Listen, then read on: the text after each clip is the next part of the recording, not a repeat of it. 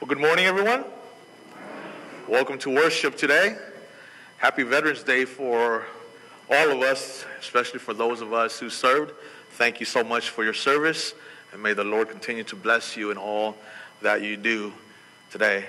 Um, it's been a long week. My wife has been sick pretty much the entire week. I've been taking care of the chores around the house, and so for some reason, I'm feeling kind of exhausted today. So, something that I, something that I thought can't happen to me, but I, I, am feeling kind of exhausted and fatigued today. So I do ask you to pray for me too. Uh, but I'm thankful that my wife is able to be here. Show is able to be here with us this morning to worship with us. Uh, yesterday we, because she was uh, she was sick, we spent all day yesterday just watching movies. But I'm glad she's able to join us today. So praise God for that.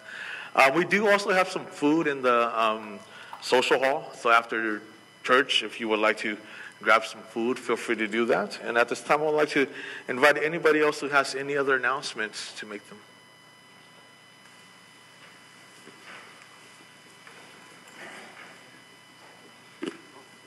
Trustees meeting after church today.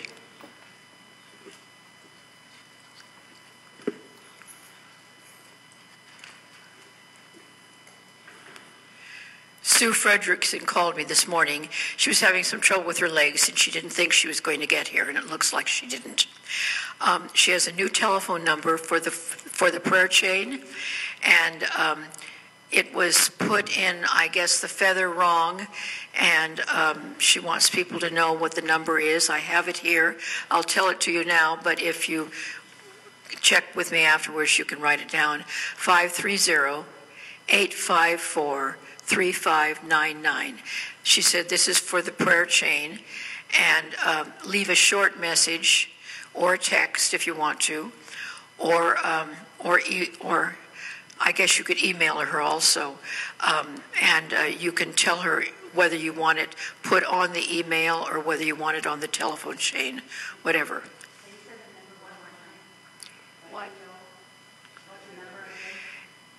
Five three zero 854 3599. Oh, and um, some people have been calling Rod, and he's not doing it anymore. Sue Fredrickson is doing it. So this is the number. Thank you, Joni.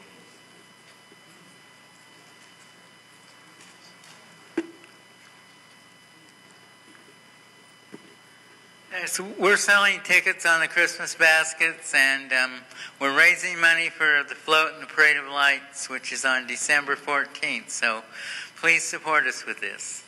Thank you. Thank you, Randy. Uh, starting next Sunday, there will be a box in the foyer for our Christmas gift for the staff, and thank you very much. Thank you, Joe. Just one more announcement since Joe got up and I made an announcement there. I just re- remembered uh, we will be announce- uh, we will be nominating Joe's name to the conference committee on Hmong ministry over at the conference, and so it, will be up to them whether or not they're going to accept the nomination. But just to let everybody know that I, you know, Joe has been involved a lot with the Hmong ministry here at our church. He's always here for worship with them whenever they uh, whatever events that they have whatever programs that they have. He's always been here with them. And so, as part of that, seeing his uh, passion for the Hmong ministry, uh, we have decided to nominate his name to be part of the conference committee on Hmong ministry starting in 2020. So, just letting us, everybody know that. Hopefully, we'll, we'll see what the conference say. Okay, so just let everybody know. So, everybody give Joe, Joe a hand for that. Okay, any other, other announcement this time? Okay, thank you.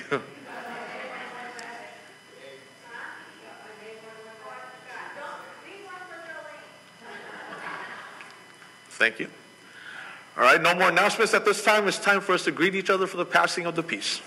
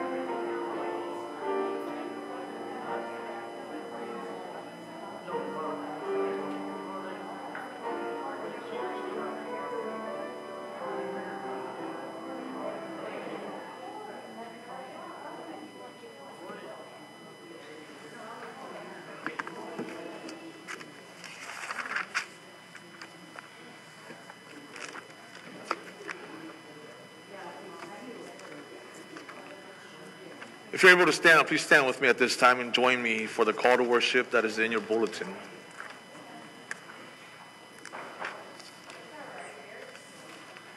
The call to worship. As the rains pour from heaven, soaking the earth that it may produce good things.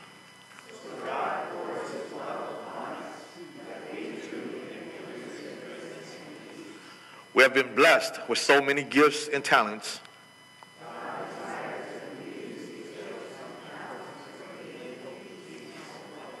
Come, let us worship and celebrate the might, mighty love and power of God.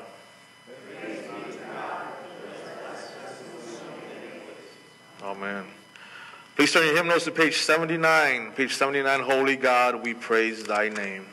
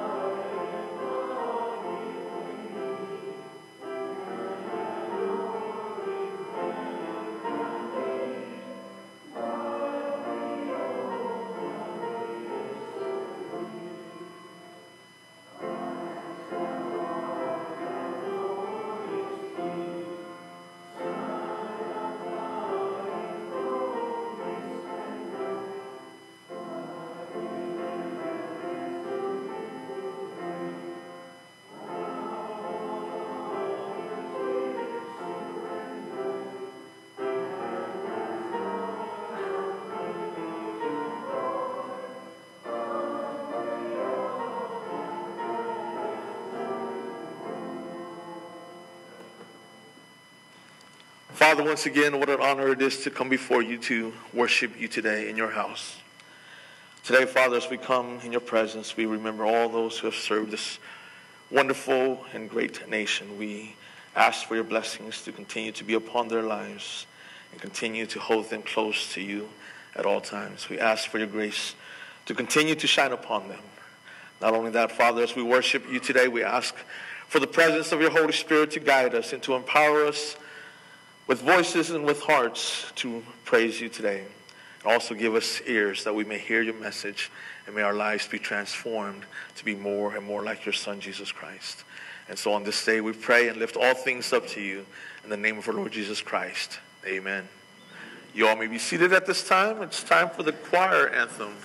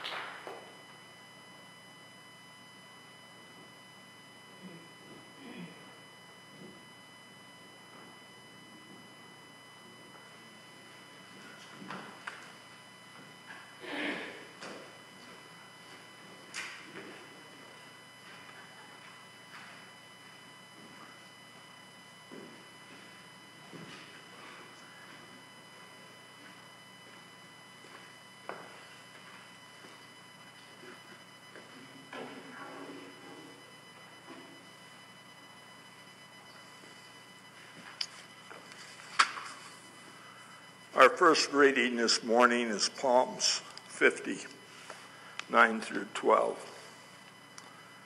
I have no need of the bull from your stall or the goats from your pens, for every animal of the forest is mine, and the cattle on a thousand hills. I know every bird in the mountains, and the insects in the fields are mine. If I were hungry, I would not tell you, for the world is mine and all that is in it. The words of God for the people of God.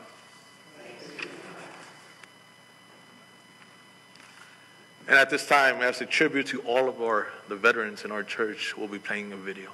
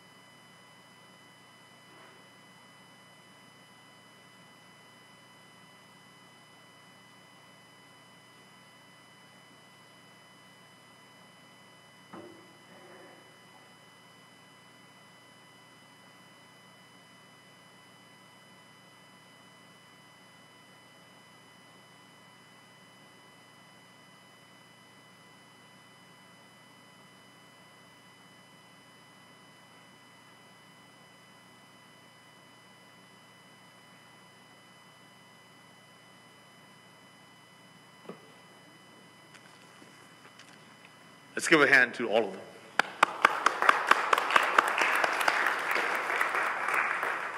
May the Lord bless all of you and your family for many generations to come, for your service, your bravery, your courage, for your service for this wonderful, wonderful nation. May the Lord be with all of you.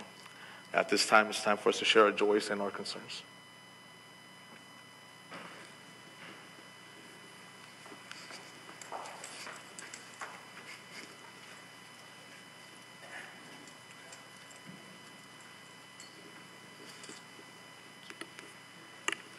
Um, I'd like prayers for my husband Dan. Uh, Tuesday, he's going to have a uh, cardiac cath- catheterization. So, hoping that um, that goes well. They find a blockage there or something that will fix his breathing issues. Thank you. Prayers for Dan. Uh, It's just nice to be back in church after several bouts in the hospital. Uh, I wanted to say I have a Facebook picture that uh, uh, someone uh, took off Facebook of the Calloway family, and I was Jolene in the 70s, the early 70s, because Lynn said they had married, Lynn and Steve. So, but I have a picture here of their, it's, I think, um, the Ardith was, uh, is in her 90s, and, but I'll have Micah put it up on the board so that, that those people that remember them, and uh, there are a few of us here, so, but that they can see it. Thank you so much, Ellen.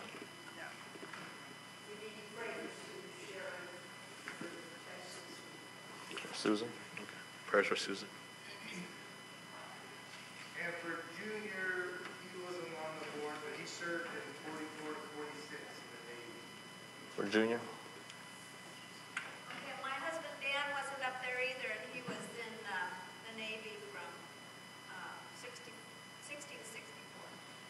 Thank you so much for their services.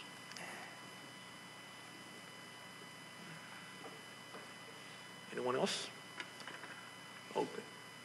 It's time for us to pray together.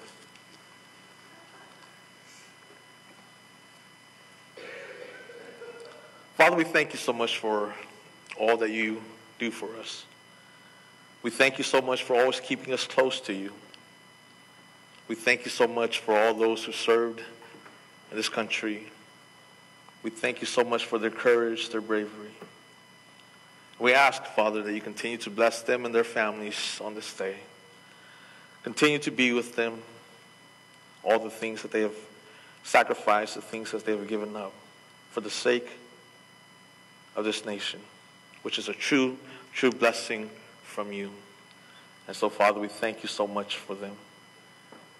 And at this time, as we also come before you, we also lift up Dan to you for the procedures that he will, and the tests that he will be having here in the, in the next couple of days here, along with Susan. We lift both of them up to you, Father.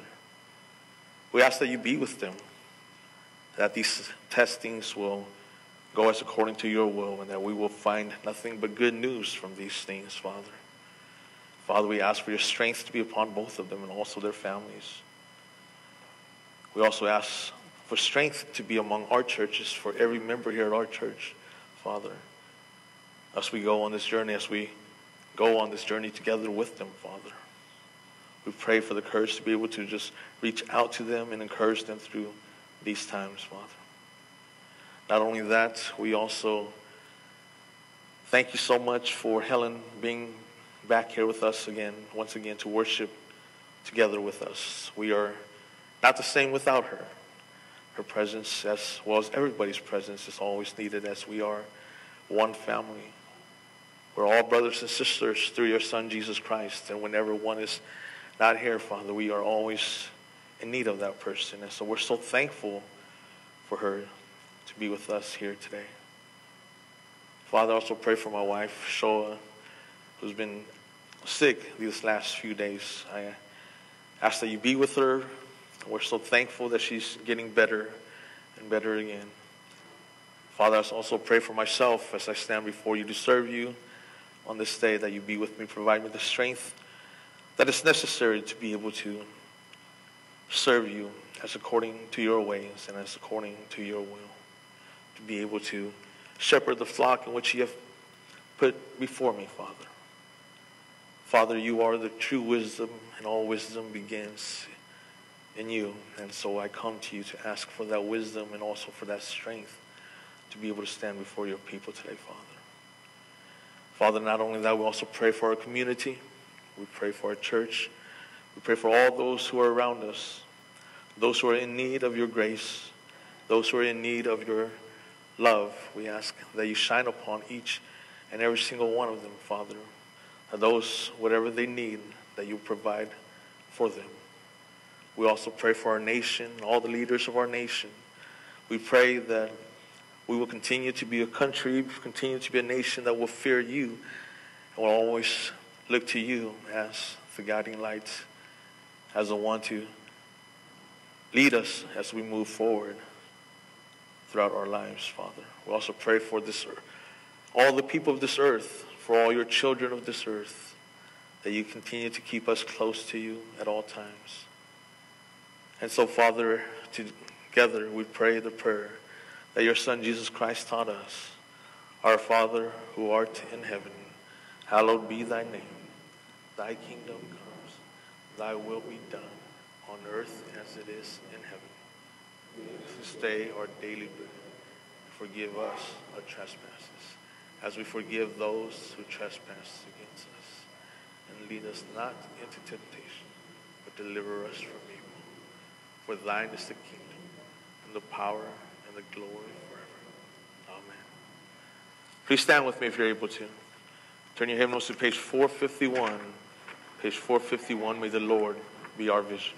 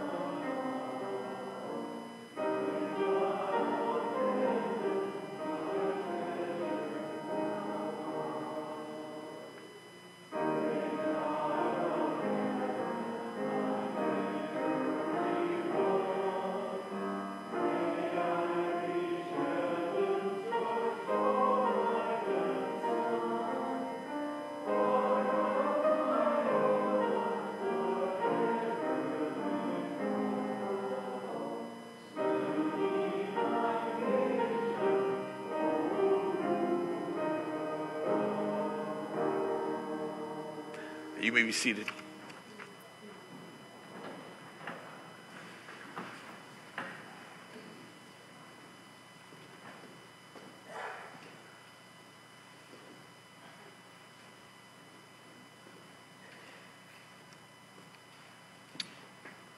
Our second reading today is from Luke chapter 19. Jesus entered Jericho and was passing through. A man was there by the name of Zacharias. He was the chief tax collector and was wealthy. He wanted to see who Jesus was, but because he was short, he could not see over the crowd. So he ran ahead and climbed a sycamore fig tree to see him, since Jesus was coming that way. When Jesus reached the spot, he looked up and said to him, Zacharias, come down immediately. I must stay at your house today. So he came down at once and welcomed him gladly. All the people saw this and began to mutter, He is gone to be the guest of a sinner. But Zacharias stood up and said to the Lord, Look, Lord, here and now I give half my possessions to the poor. And if I have cheated anybody out of anything, I will pay them back four times the amount. Jesus said to him, Today salvation has come to this house because this man too was the son of Abraham. The words of God for the people of God.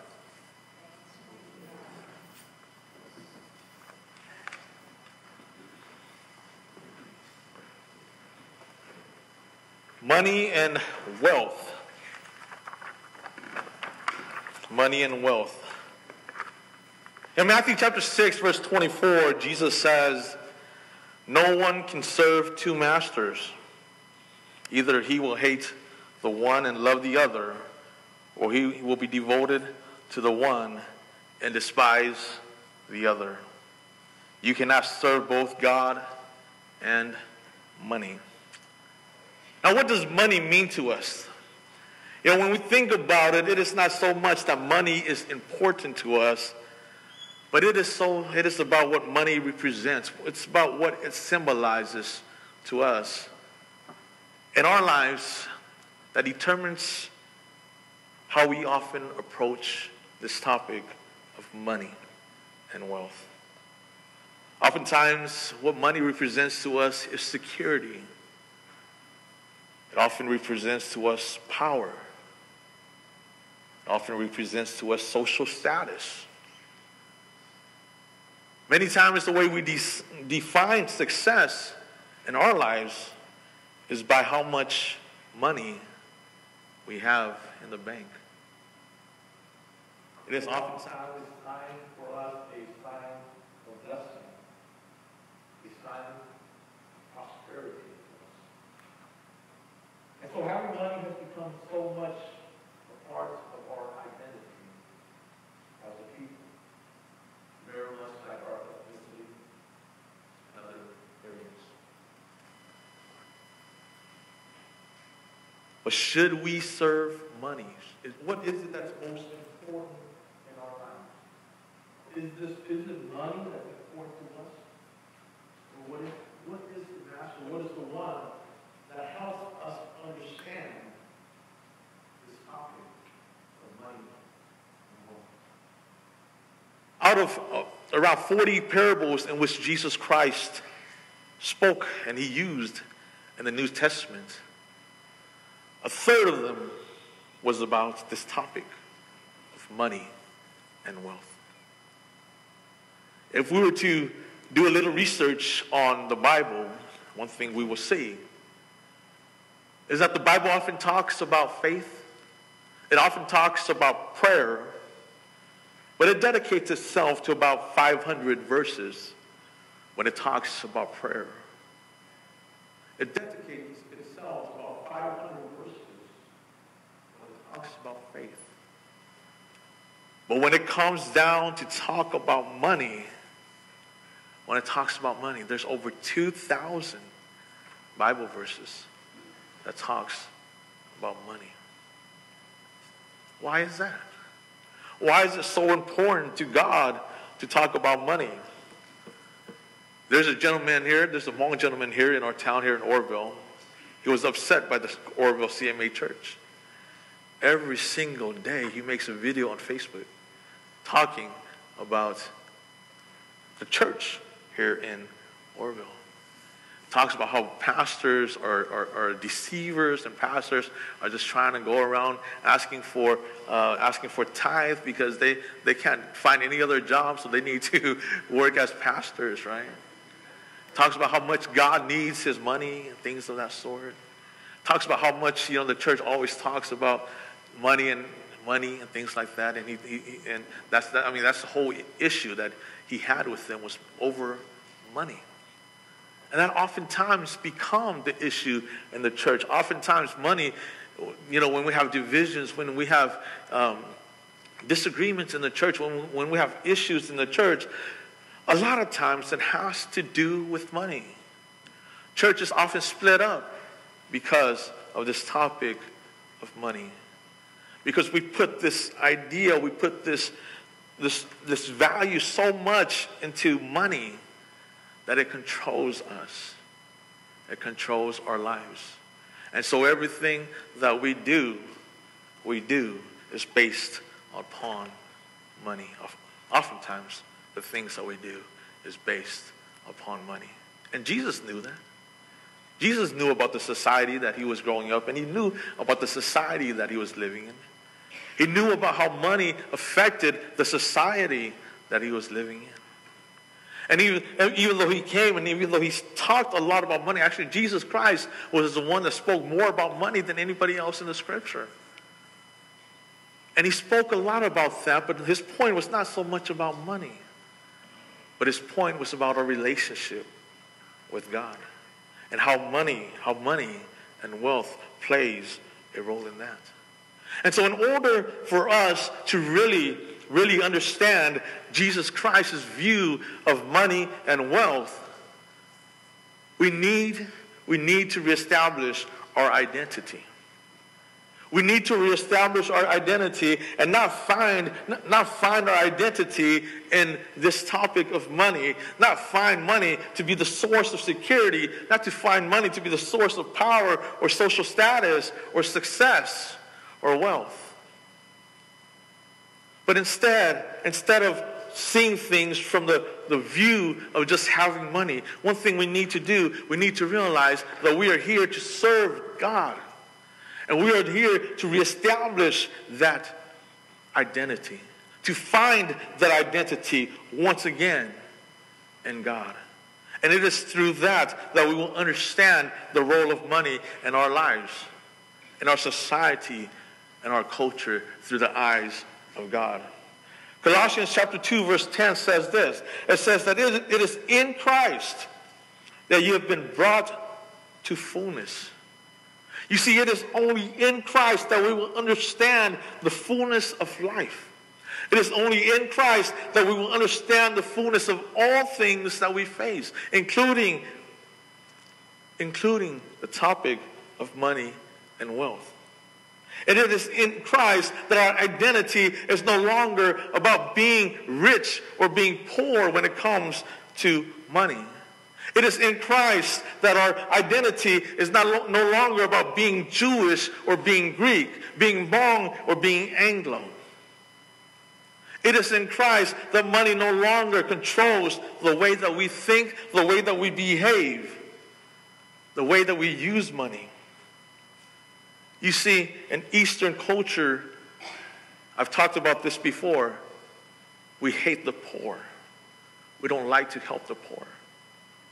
And the reason for that is because we believe in karma. We believe in karma. We believe that people are poor because of karma.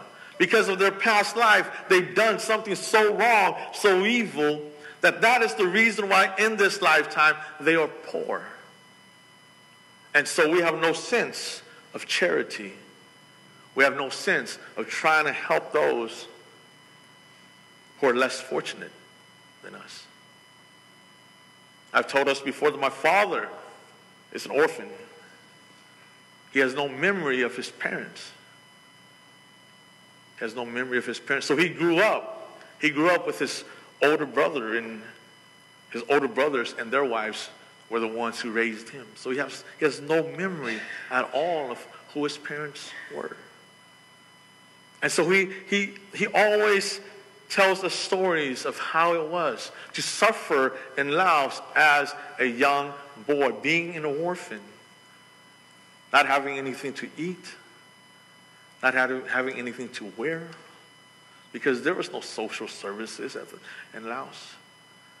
There's no charity in Laos. There's nothing in Laos. You can't take care of yourself, that's it. And so he depended for most of his life, he depended on his brothers and uh, their wives to be able to take care of them. And of course, they were all very, very poor. They had their own kids too.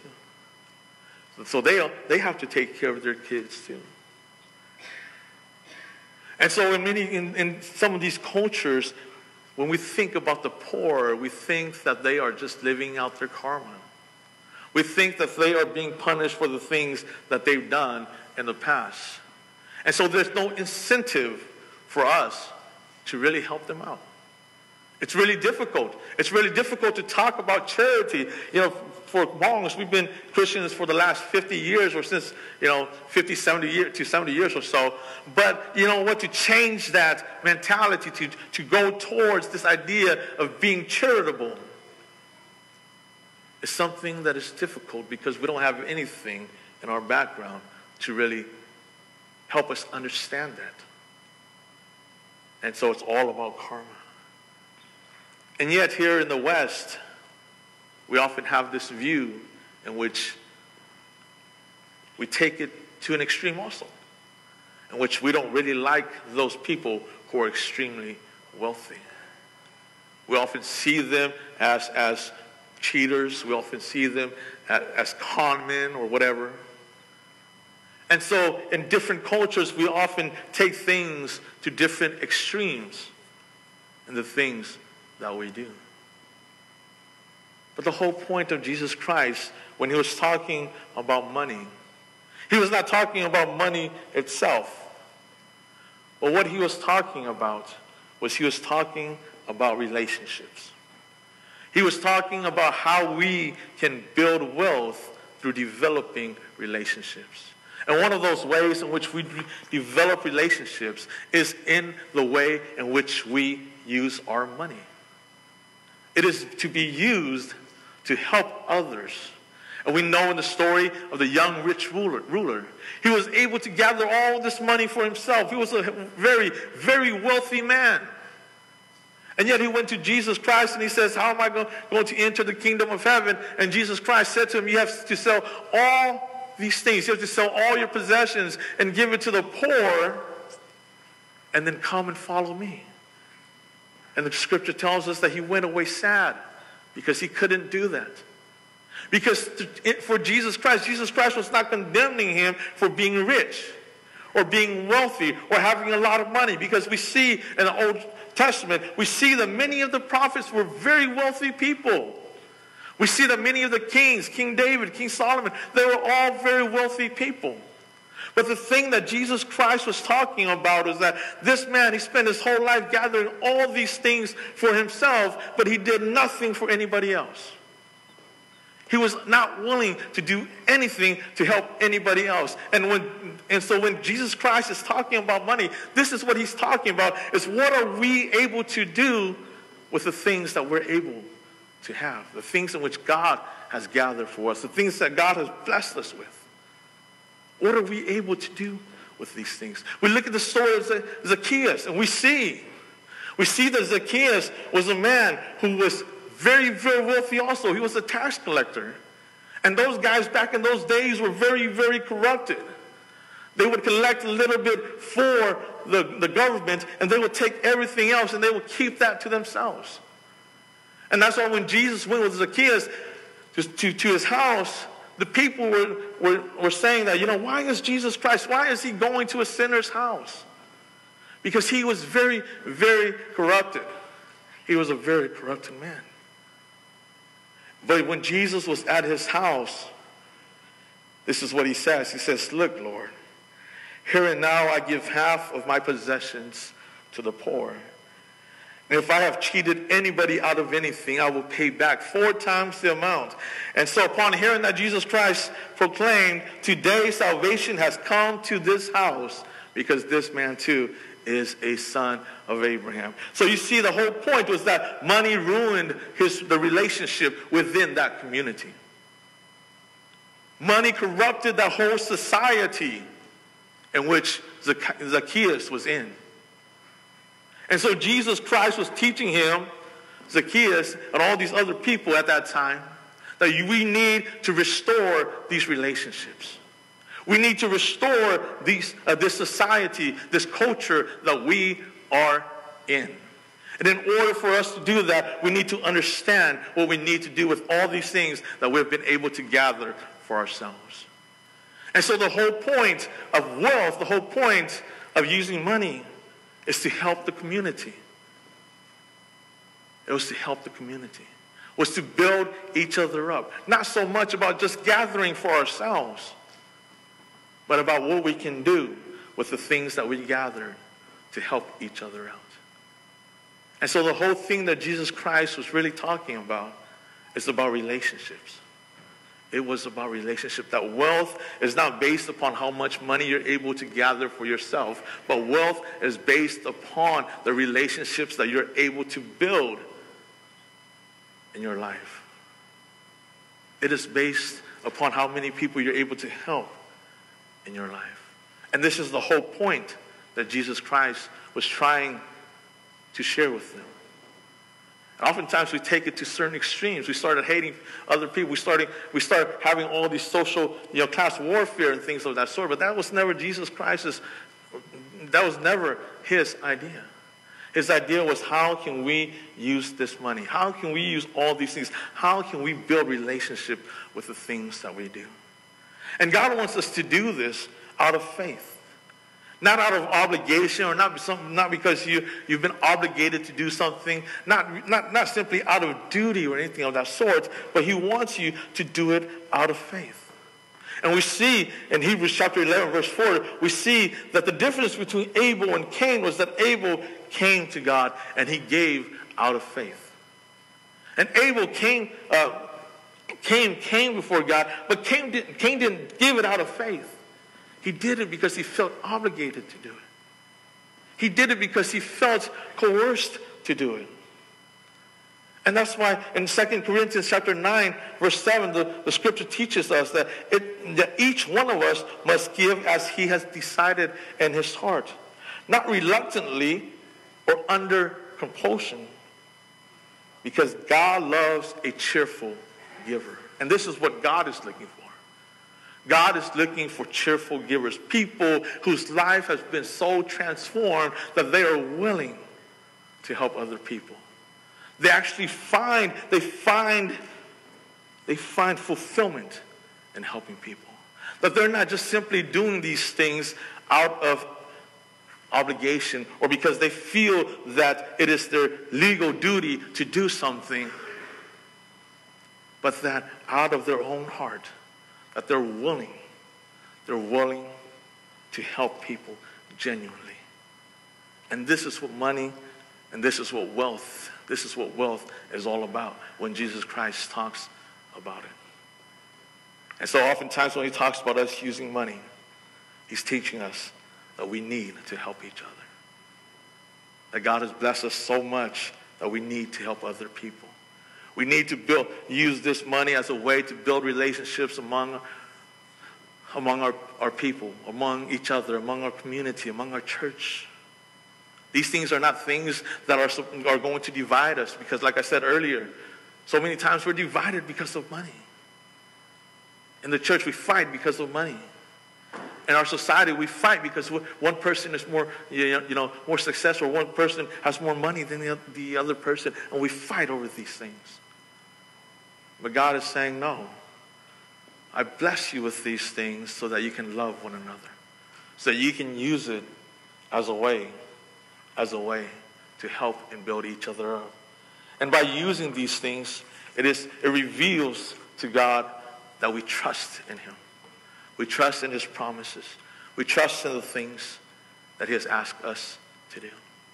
And by giving, by giving, we become more and more like God. It is not that God needs something from us. The very first Bible verse that we read up there, that Jim read up there from Psalms chapter 50, verse 9 through verse 11. God says, I have no need of a bull from your stall or of goats from your pens, for every animal of the forest is mine, and the cattle on a thousand hills. I know every bird in the mountains and the insects and the fields are mine.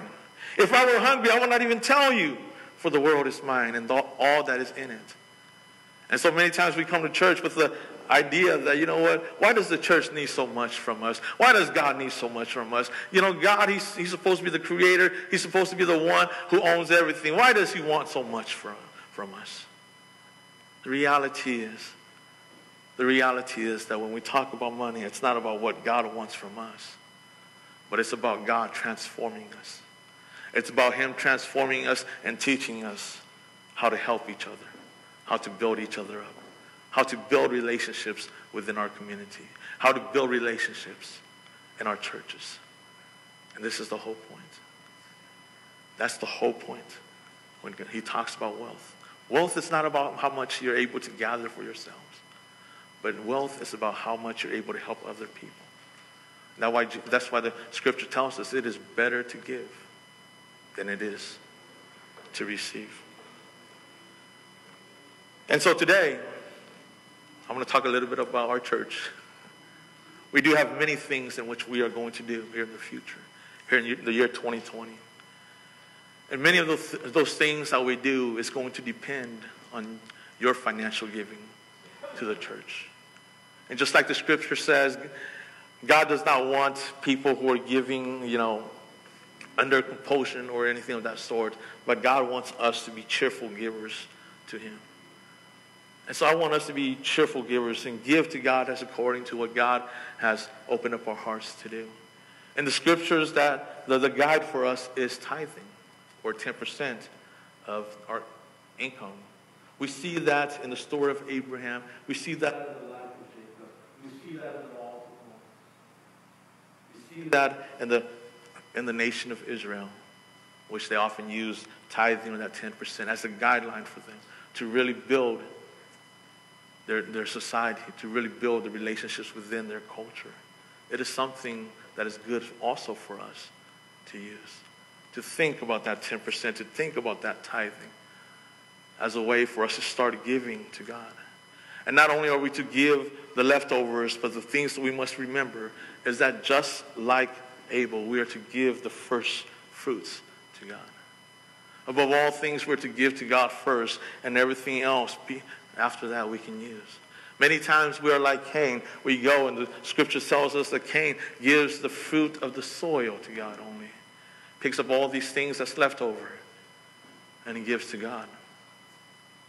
Many times we often do that in our lives. Many times as Christians, we, often, we do that too much. We, we, we spend everything on ourselves, and whatever's left over, we give that to God. But what God desires from us is the first fruits. Because where our money is, where our treasure is, that's where our heart is. And that's what God is looking at. And so we have so many things to do in our church this coming year. Discipleship for our youth group. We have our youth group, they come here, you know, once or twice every Friday night to meet. That's not enough for them. We need more. We need to be able to help them more. We have many things that we can do around here in our church, you know, you know that, that can encourage the youth to come here more. Maybe fix up the basketball courts. Maybe provide them a place to play sport or something of that sort.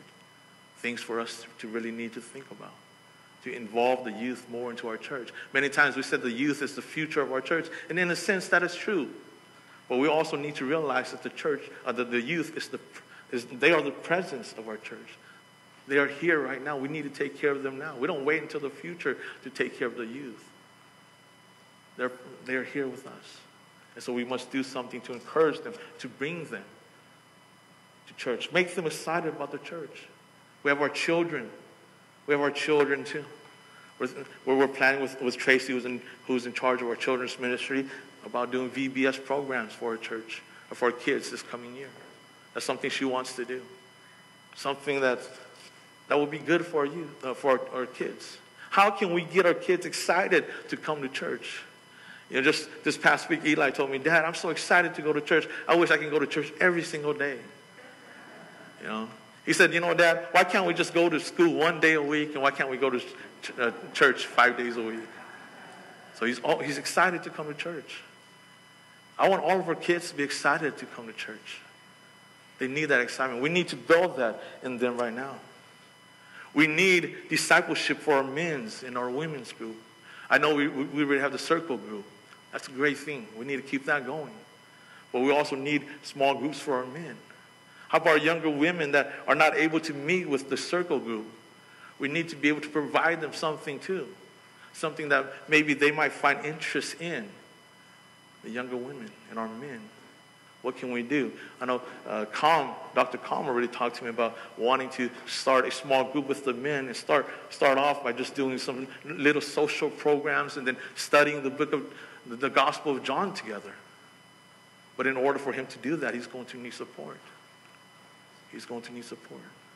So that's something that we can look into. We got our praise and worship.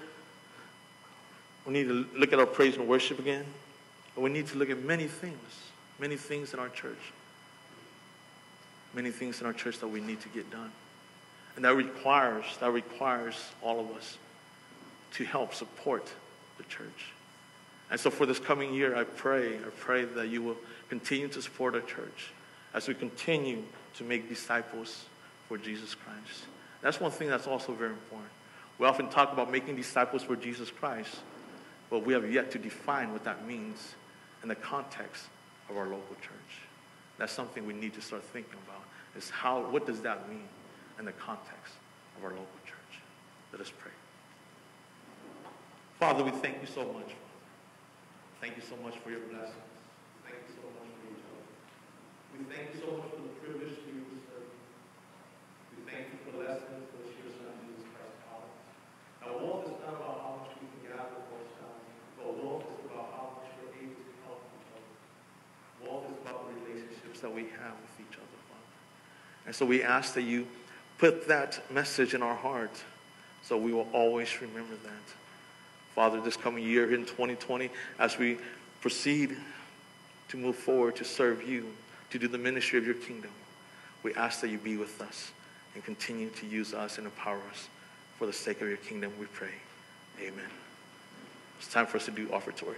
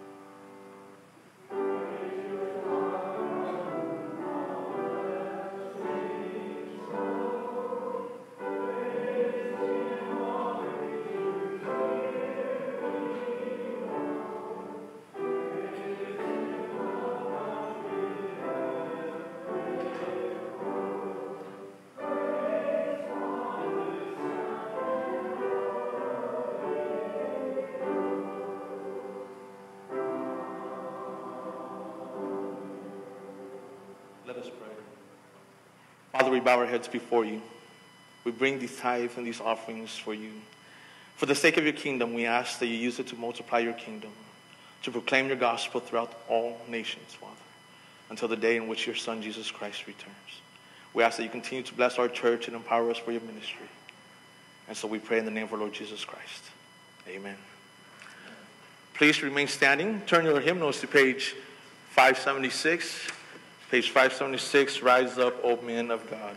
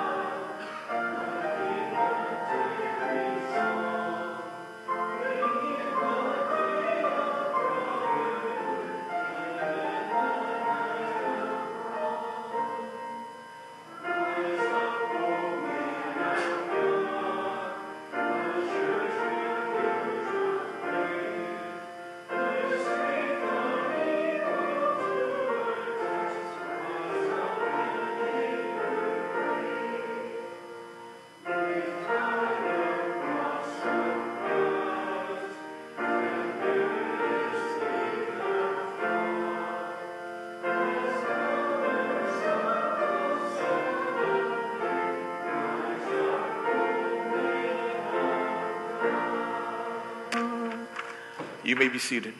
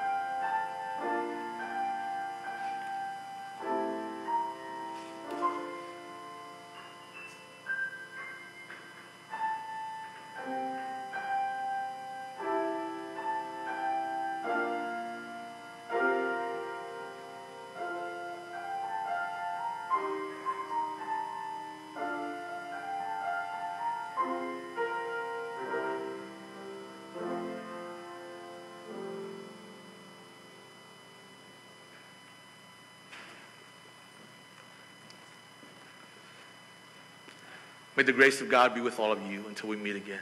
God bless.